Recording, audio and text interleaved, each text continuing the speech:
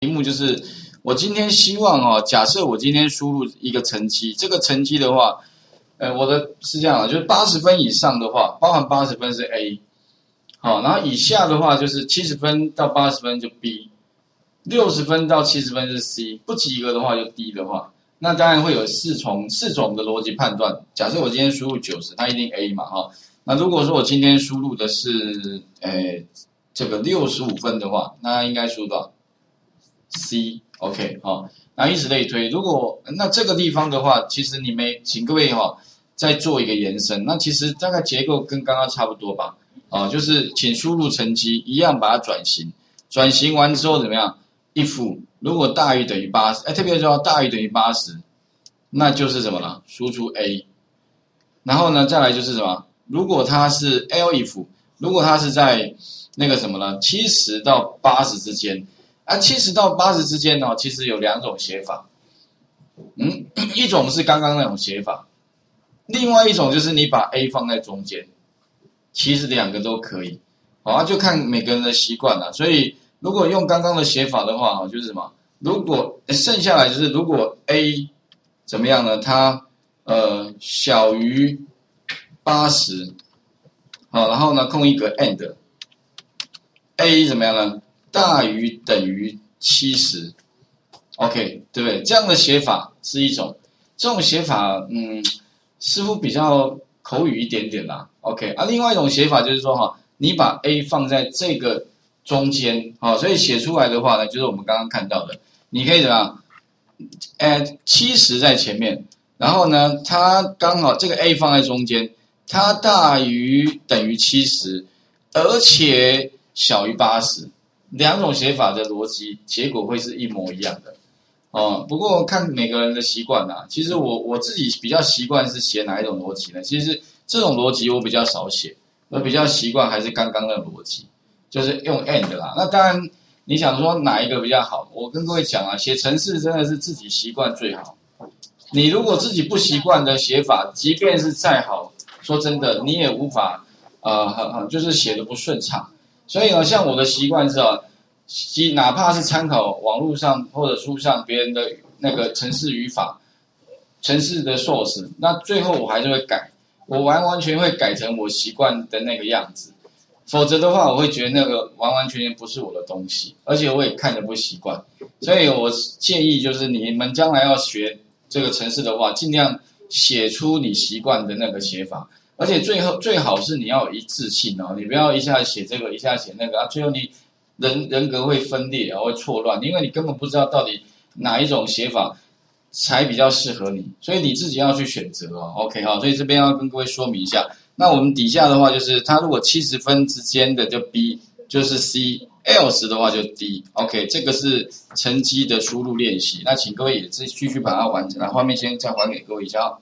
就是到呃开浏览器哦，你就在 Google 上输入那个 BMI，那 BMI 里面的话，就会第一个这个有个 BMI 值的计算器哈。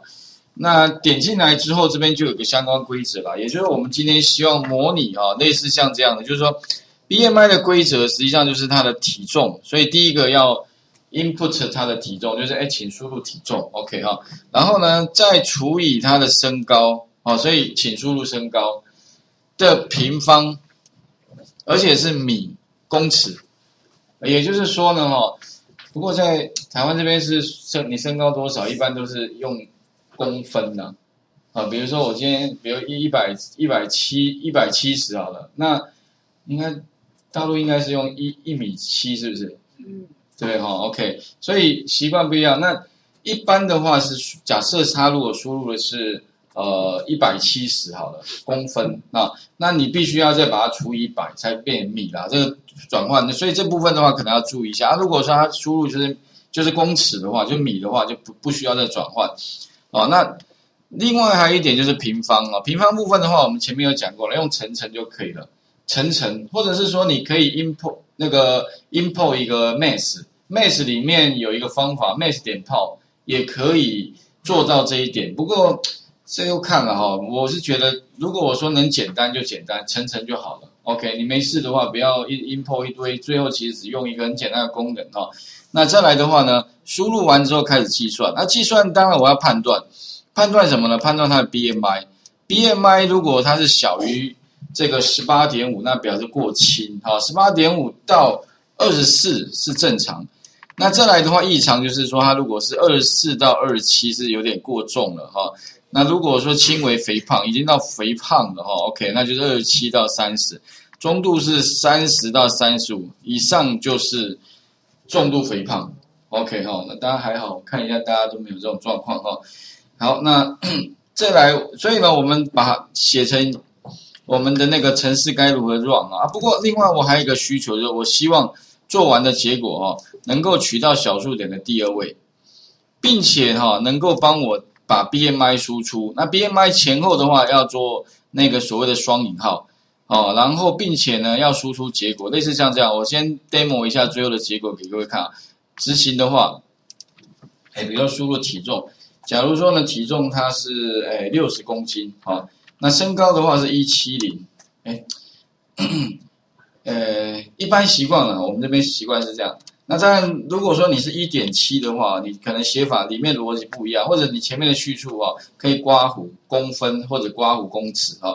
那假如说我这我这这边的逻辑是公分的话，好，那输入完毕之后，我希望看到结果就是这样子，它的 BMI，OK，那我希望 BMI 前后要有个双引号。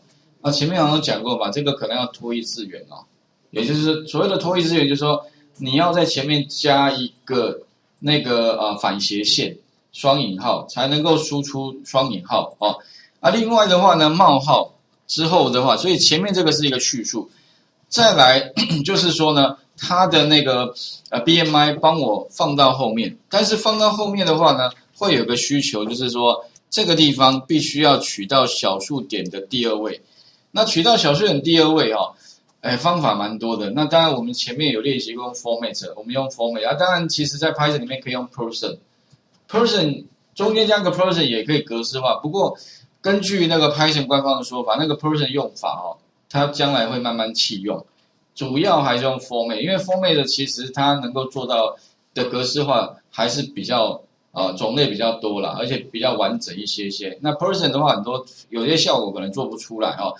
那除了这个之外的话，你还可以用一个里面有个内建的方选叫 round。啊，run run 的函数，run 的方选，它其实也可以取到小数点的第二位啊，好好几种方法。那也许我我这边是暂时先用 format 了啊。那将来的话呢，我希望这边换行，换行到这边，所以这边换行到这里。哎，换行的话，前面讲反斜线 n 嘛，你可以在这边加一个反斜线 n，好，然后把评语，评语的话，那所以要有个逻辑判断，就是根据它的 BMI 得到的结果，哎，帮我放到这边来。OK，所以哦，假设我今天希望看到是这样的结果，好，那请各位稍微练习一下啊。这个有几个可能比较需要要注意的点哦。这个就是这个双引号这边要换行，这边要小数点的第二位，最后是一个评语。OK，好，那请各位试一下，待会我们再来看一下这个里面怎么做哦。